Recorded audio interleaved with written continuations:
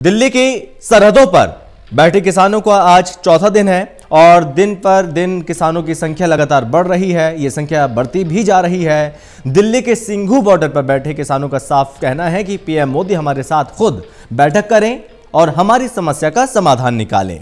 धरने के चौथे दिन सिंघू बॉर्डर पर बैठे किसानों से बातचीत की हमारे संवाददाता दिवांशु मल्होत्रा ने। दिल्ली के सिंघू बॉर्डर पर पिछले चार दिन से किसान धरने पर बैठे हैं। अब तस्वीर ऐसी है कि एक तरफ़ किसान है, बीच में पुलिस है और दूसरी तरफ़ भी किसान है। फ़िलहाल हम सिंघू बॉर्डर पर हैं और आपको ये तस्वीर दिखाना चाहूँगा। बीच में बॉर्डर है, उसके उस तरफ़ आपको बताना चाहूँगा कि किसान है, बीच में पुलिस की टीम है और ये कल से तस्वीर देखने को मिल रही है जब किसानों ने सिंगू बॉर्डर से नरेला जाने का रास्ता जो है वो रोक दिया है। किसानों का साफ़ कहना है कि जब तक उनकी मांगे नहीं मानी जाती, तब तक वो इसी तरीके से बैठे रहेंगे। और कल की मीटिंग में ये भी फैसला हुआ कि दिल्ली की पाँच ऐसे पॉइंट्स हैं पाँच ऐसे मेन पॉइंट्स हैं जो कि दिल्ली की लाइफलाइन मानी जाती है। उनको ब्लॉक किया जाएगा यानी कि आने वाले समय में परेशानी और भी ज़्यादा बढ़ सकती है। लेकिन सबसे बड़ा सवाल ये है कि आखिर संवाद क्यों नहीं हो पा रहा है? सरकार का किसानों के साथ एक अच्छा संवाद क्यों नहीं हो पा रहा है? हमारे साथ बातचीत करने के लिए किसान लीडर हैं। सर अपना नाम बताइए और ये बताइए। जसबीर प्रधान किसान मजदूर संघर्ष कमेटी पंजाब। ठीक है। सर ये बताइए कि सरकार के साथ एक ठीक ढंग से संवाद क्यों नहीं हो पा रहा है? क्योंकि सरकार कह रही है कि बुराड़ी जाइए और आप कह रहे हैं कि हम बुराड़ी नहीं जाएँगे। देखो, सरकार की नीति नहीं है समाज अच्छा करने की। वो एक ही बात बोल रहे हैं कि जो खेती बिल लेकर आए हैं, बहुत अच्छे बिल हैं, किसान के फ़ायदे के बिल हैं। किसान को आज़ादी दिया है हमने, किसान को आज़ादी है। पर हम मान रहे हैं उसको कि जो A A P M C act था उन्नीस का, उसको ख़त्म किया जा रहा है। एक देश, एक मंडी का नारा दिया गया है। उस उसमें एक देश के नंडी, मंडी में जो कारपोरेट कराने आएँगे, प्राइवेट प्लेयर आएँगे, उनको ना तो लाइसेंस लेंगे, ना कोई फ़ीस देंगे और खुली मंडी में वो खरीद करेंगे बड़े बड़े गोदाम बनाकर उसमें जमाखोरी करेंगे जो पहले एपीएमसी एक्ट में नहीं था।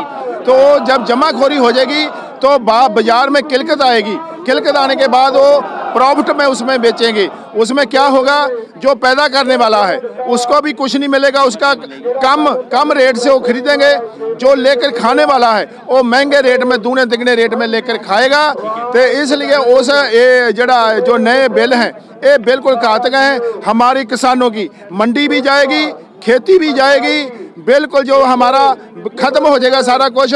हमारे को एक डब्बा पकड़ा कर डब्बा पकड़ा कर खाना डाल के मजदूरी करने के लिए हमारे को ये मजबूर कर देंगे।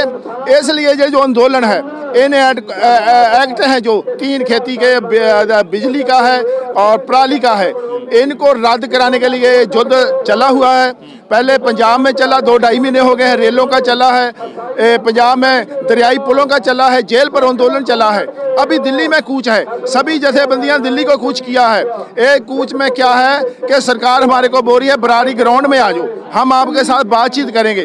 लेकिन उस, जो बरारी ग्राउंड में जाकर, जैसे पंजाब में रेलों में किया हमारे साथ, ऐसे इधर करेंगे, कोई बातचीत का हाल नहीं निकालेंगे। लेकिन हमारी रणनीति है कि दिल्ली को लॉक करेंगे चारों तरफ़ से तब सरकार को मजबूर करेंगे बात करने के लिए।